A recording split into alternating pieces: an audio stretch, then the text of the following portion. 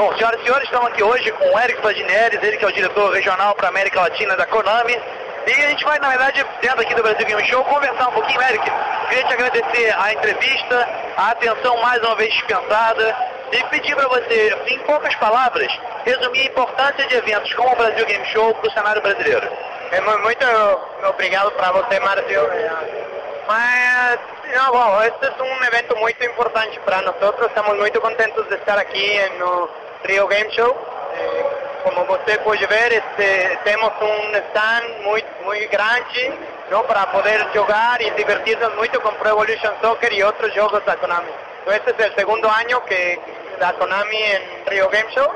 E bom, nós estamos muito contentes. Eric, ainda dentro dessa linha, né, na verdade a Konami tem sido hoje apontada como uma das empresas que tem investido de forma mais pesada na sua presença física e de seus jogos aqui no Brasil. Foi um ano de grandes lançamentos. E na verdade a gente tem visto, né? A gente, a realização maciça, a participação de vocês nos eventos, aqui no Brasil é óbvio, muito bem vista, aclamado e público aplaude. Mas lá fora a gente sabe que ainda tem um pouco de receio ou uma visão, visão um pouco deturpada sobre o que, que é esse mercado brasileiro de jogos. Quando vocês contam para os seus pares lá nos Estados Unidos, quando estão vindo para o evento no Brasil, como é que é a reação desse público? Como é que é a reação dos seus pares, da turma que trabalha com jogos eletrônicos nos Estados Unidos, na Europa e em outros, outros lugares? Ah, para, para Konami, Brasil é um mercado muito importante. Como vocês podem saber, Pro Evolution Soccer é muito grande, é o jogo mais grande da, do Brasil. E, bom, para nós é el, mercado más grande de, América Latina, es más grande que México ahora y es para la única compañía que, que, Brasil es más grande que México. Entonces, no, por eso nosotros apoyamos tanto. Mas también, hoy você puede ver que está Blizzard, que aquí está Sony, que está Warner, que hay otros, Ubisoft, hay muchos apoyando el mercado brasileño y eso es bueno para todos. Nosotros queremos como industria que esto sea más grande. Así que es bueno, es, yo que todos os publishers estejam aqui. Todos queremos isso. Você enxerga, Eric, que está essa cultura de que de um certo preconceito até em relação ao mercado nacional, ao mercado brasileiro, está mudando lá fora? Está mudando, está mudando no exterior, no estrangeiro. A visão sobre o mercado brasileiro está se alterando, está deixando de ser deturpada ou preconceituosa, uma visão suja, turva? No, no, el mercado brasileño está creciendo mucho, está siendo mucho más maduro, los consumidores son, son muy profesionales acá, los, los jugadores son core gamers que les gustan mucho sus juegos, tanto más que en cualquier otro país del mundo.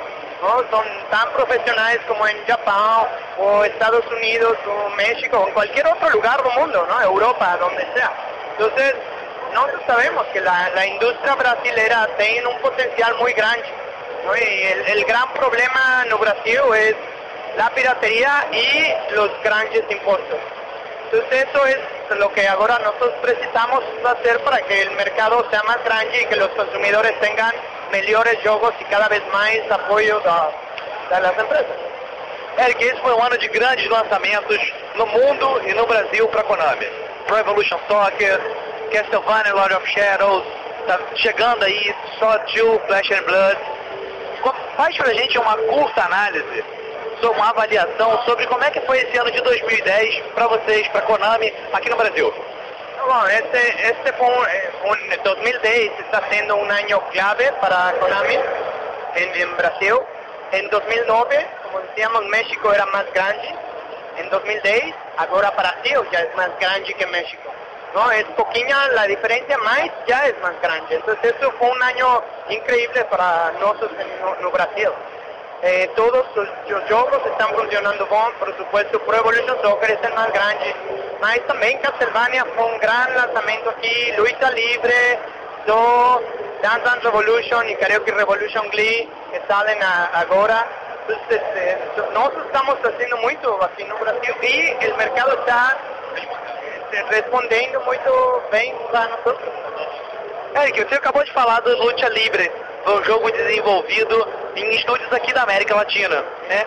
Será que é muito cedo para pensar na Konami distribuindo jogos desenvolvidos por estúdios brasileiros?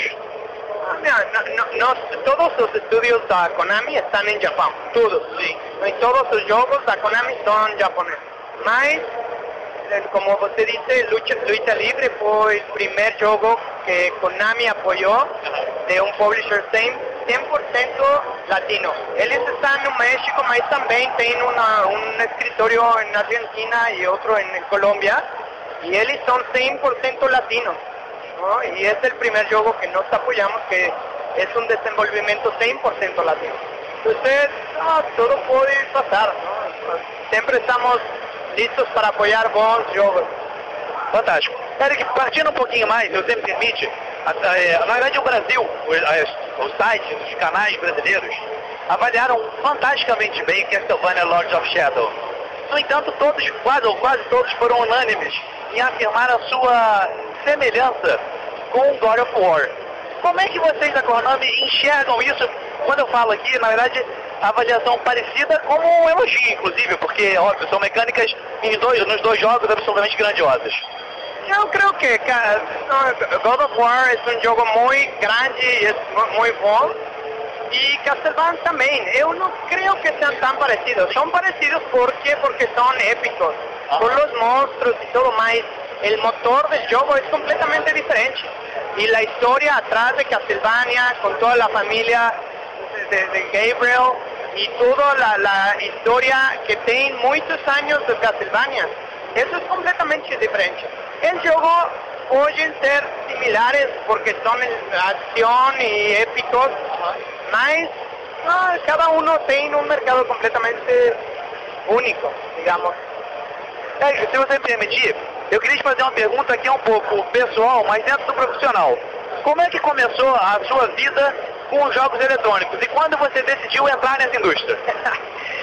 eu tinha sete anos e jogava Nintendo e eu jogava de tudo. Eu não, antes, perdão, não Nintendo. Meu primeiro jogo foi Atari.